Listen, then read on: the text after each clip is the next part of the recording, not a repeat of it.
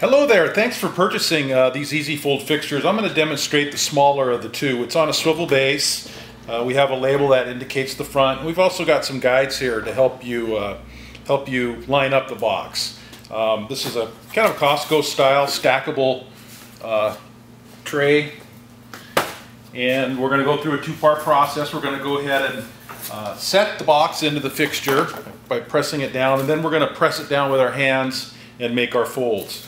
Now, this is a, the guides right here We'll just go ahead and line up in, the, in these corners. So now you know you're lined up and you're ready to go. There is a challenge with this box. It's very, very thick here.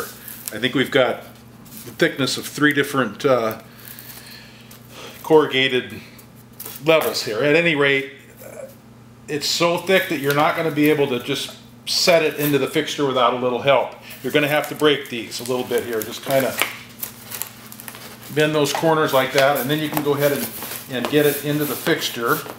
Then just go ahead and press down.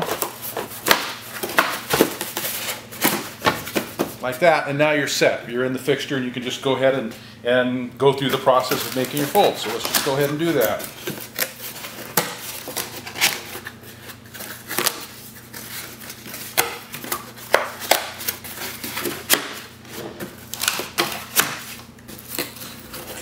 Going through all four corners and the sides.